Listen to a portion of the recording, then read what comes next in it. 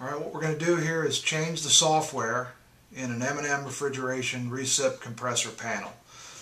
The first thing we need to do is is uh, save off some set points.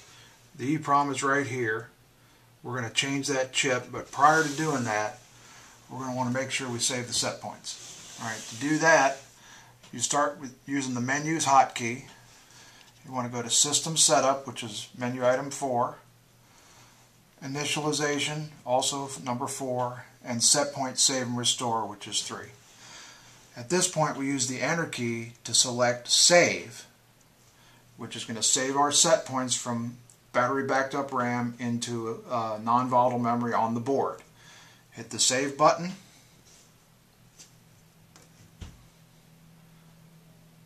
It says the save and restore is successful. At this point, we can turn the power off and change the software.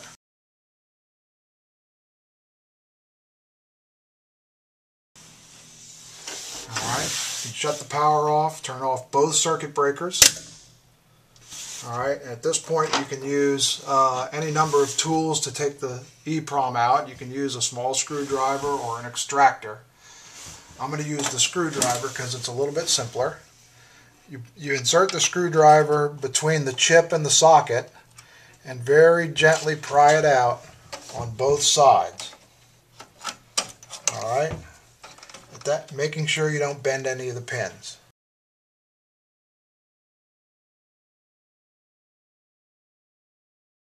Okay, in this case we're going to put the same chip back in but we want to make sure that the notch on the chip matches the notch in the socket. And what I usually do is try to align either the top row or the bottom row of pins first and then push the bottom row in. Before you drive it home, visually look at all the pins and make sure that they're in the socket and feel for it as you push it in. It should go in with, you know, very smoothly without any bent pins. Okay? At this point, we can turn the power back on.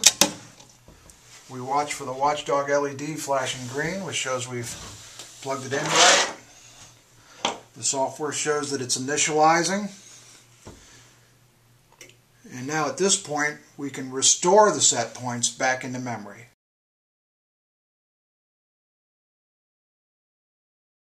So once again, we go to Menus, Initialization. Alright. Save Restore. This time we want to scroll to the Restore selection and hit Save.